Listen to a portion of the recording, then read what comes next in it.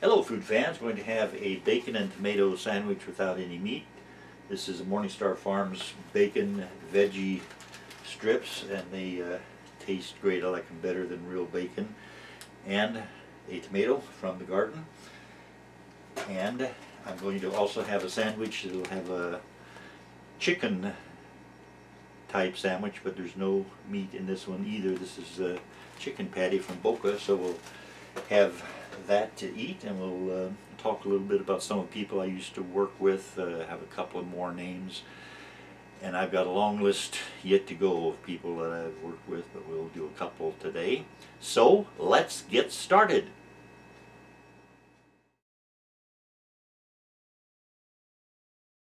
And we have everything done. Make sure you keep the kids away from the hot stove. And what I will do is uh, make a bacon and tomato sandwich. This uh, veggie bacon is very, very crisp and uh, I like it that way. And it tastes better than regular bacon Morningstar Farms strips in my opinion. I like it better than bacon. And what I'm going to do is get some uh, tomato here from the garden. Actually, I'll put some mustard onto the toast. I toasted some whole wheat bread. And uh, see what we got here. Already got some of the mustard on me. I'm the mustard man a little bit of mustard and a little bit of uh, relish on this bacon and tomato sandwich. And by the way, I've got a salad here also.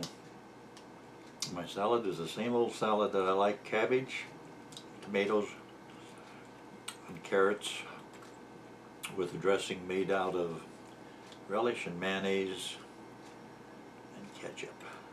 Mm -hmm. Salad is good. And I will say again, I think cabbage is especially good for you. I have cabbage just about every day and have had cabbage almost every day for at least the last 20 years or so. And cabbage usually, I have it as a uh, raw vegetable either in a salad or coleslaw. Let's see, how can I make this uh, turn over upside down and uh, not spill too much. Bacon and tomato sandwich with no meat.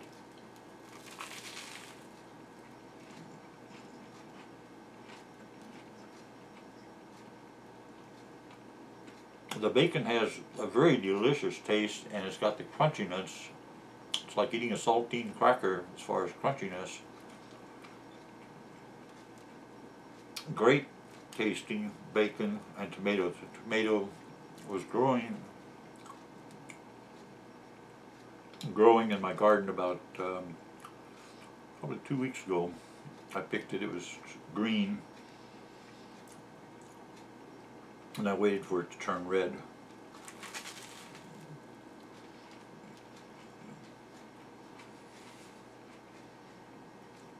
And I am the world's best tomato farmer.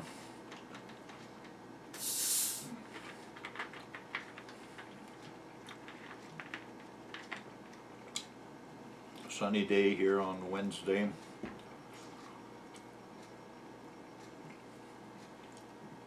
Time for root beer.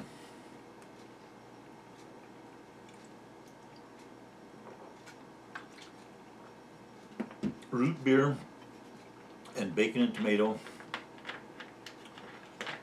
that is a great combination. I highly recommend it.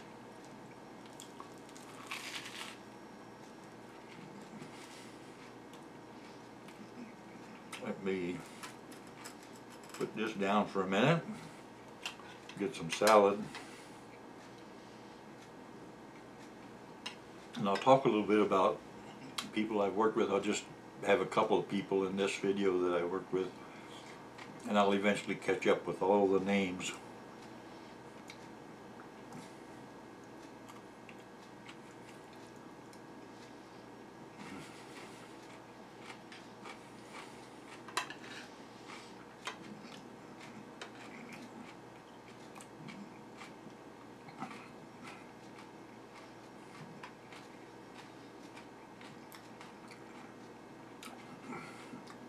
Salad is good as always.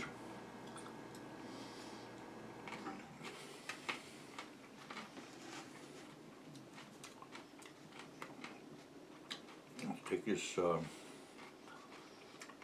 hamburger bun for the chicken burger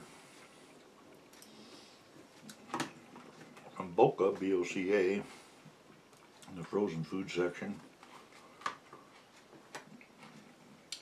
Then I'll put in a little bit of bacon on the Boca burger.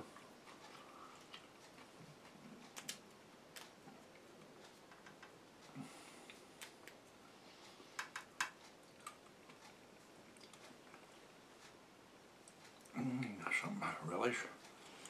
I work with Tommy Sands. Tommy Sands was a sensation. He um, had the young lady screening for him. Back in 1956 he had a song that was in the top five. A big song called Teenage Crush. I worked with Tommy Sands. First of all I saw him in 1956 uh, right after I'd moved to Los Angeles. He used to sing on the Tennessee Ernie Ford show. And I'd go to see that. Not even imagining that I would ever sing on the same show as Tommy Sands, but uh, I did sing on shows with him at the Palomino Club and in Newhall. Cliffy Stone, who was Tommy Sands' manager, used to put on a show every summer in Newhall with a lot of uh, big name performers and he had me on the show maybe 10 times total. I worked the show and often with Tommy Sands.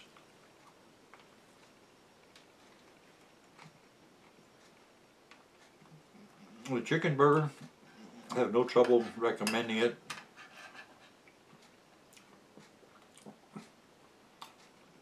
And this stuff is easy to fix. I put the uh, chicken burger which has no meat in the microwave in a microwave dish this microwave dish. And I let it cook for 35 seconds and the chicken burger is kept in the freezer. I cooked it for 35 seconds and the, the bacon adds a lot to it. I cooked the chicken patty for 35 seconds then I put the bun and the bun had been in freezer also. Put the bun in for another 12 to 15 seconds. And it cooks up really nice. Really nicely, that'd be an adverb, wouldn't it? Mmm. Good, good stuff. Tommy Sands made some good movies. He was in Babes in Toyland with Annette Funicello. He was in The Longest Day. He was in a, a movie called Sing Boy Sing.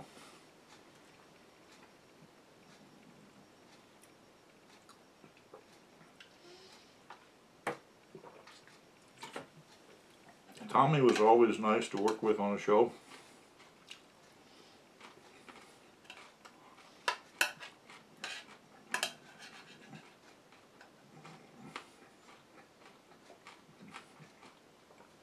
I like very much his recording of that old that old oak, oaken bucket.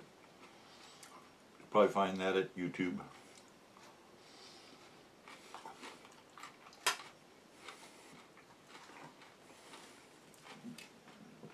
Chicken sandwich time now.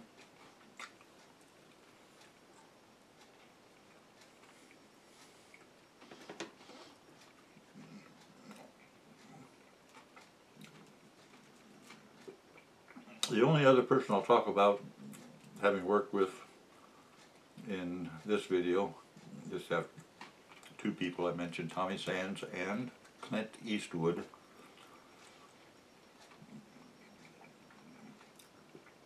I worked with Clint Eastwood way in the background in a scene in um, The Gauntlet. The Gauntlet, not a great movie, but lots and lots of action, bullets flying, explosions.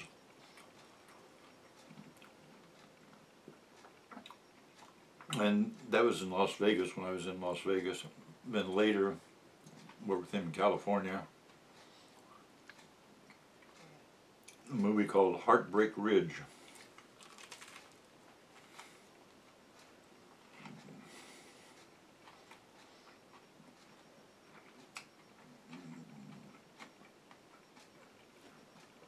I'm barely visible in the movie, but my car, the Rambler, the yellow blur, is seen because Clint Eastwood came over to where the extras were sitting in our lawn chairs and waiting for a job, not waiting for a job, we had the job, we were waiting for whatever our scene would be. Clint Eastwood came over and he said, who owns the Rambler? And I said, I do.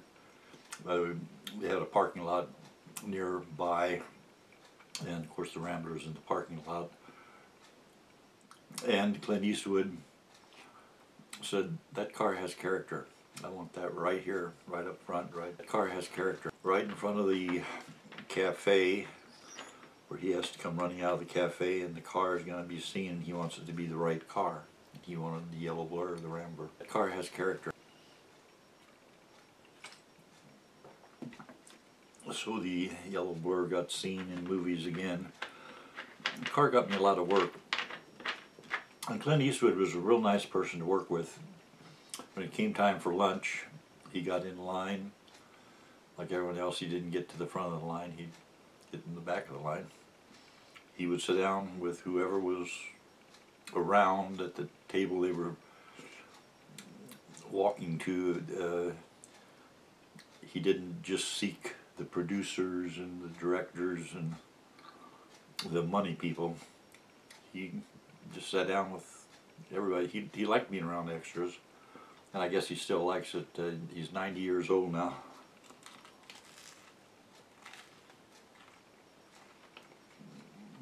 Another movie I worked with um, Clint Eastwood on, and also still, still not really seen in, a movie called uh, it escapes me. I'll put it on the screen. Something City. A movie that Clint Eastwood made with Burt Reynolds, and supposedly both Clint and Burt were fired from Universal on the same day. They were told they would never make it in movies, and they were making this movie at Universal. It was a fun movie to work on. Clint Burt, Clint and Burt Reynolds both were very likable. It was always fun to work with him. Bacon tomato sandwich is history.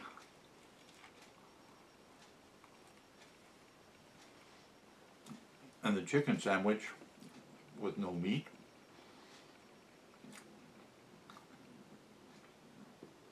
has about maybe three bites left in it.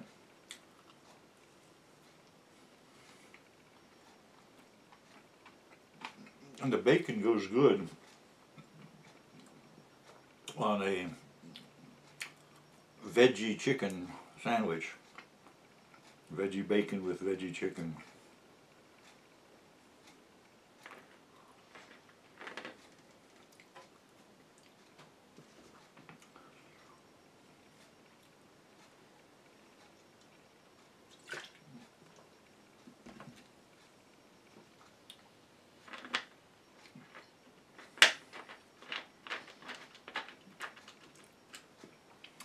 Thank you for watching.